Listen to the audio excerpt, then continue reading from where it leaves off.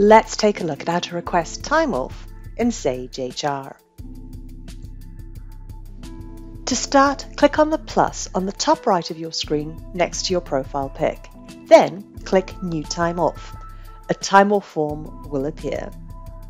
From here, select the appropriate time off policy.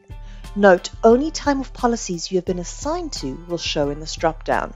If you don't see the one you're looking for, contact your HR admin. Fill out the dates of the time off.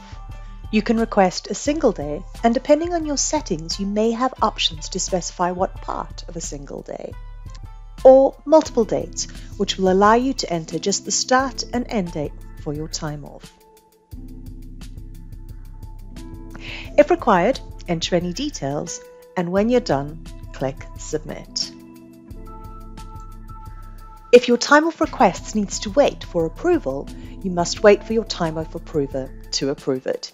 Your pending time off shows on your dashboard under Upcoming Time Off and in your calendar. In both areas, you can edit or cancel your request if you have permission to do so.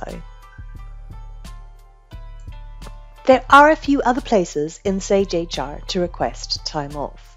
From your dashboard, on the main menu, click the dashboard and then on your upcoming time off widget and click Request Time Off.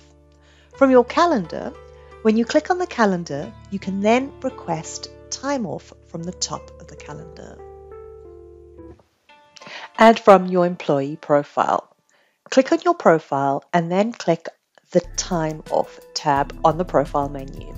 You can then, of course, click Request Time Off. Your Time Off tab is also where you can monitor your time off details and your time off history.